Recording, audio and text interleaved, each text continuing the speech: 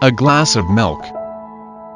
One day, a poor boy who was selling goods from door to door, to pay his way through school, found he had only one thin dime left. And he was hungry. He decided he would ask for a meal at the next house. However, he lost his nerve when a lovely young woman opened the door.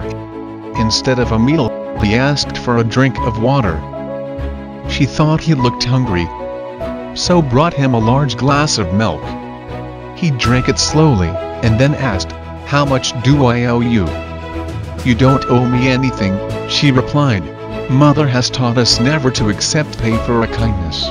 He said, Then I thank you from my heart.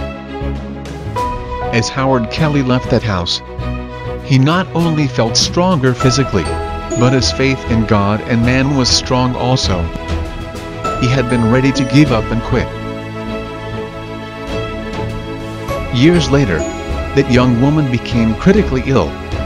The local doctors were baffled. They finally sent her to the big city, where they called in specialists to study her rare disease. Dr. Howard Kelly was called in for the consultation. When he heard the name of the town she came from, a strange light filled his eyes. Immediately he rose and went down the hall of the hospital to her room. Dressed in his doctor's gown, he went in to see her. He recognized her at once. He went back to the consultation room, determined to do his best to save her life. From that day, he gave special attention to the case. After a long struggle, the battle was won. Dr. Kelly requested the business office to pass the final bill to him for approval.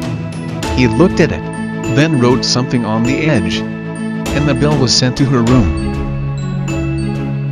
She feared to open it, for she was sure it would take the rest of her life to pay for it all.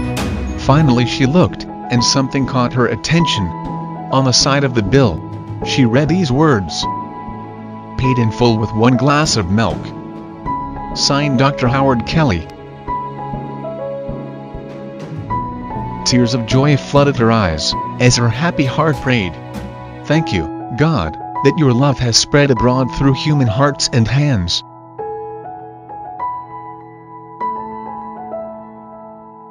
And finally, thanks for watching.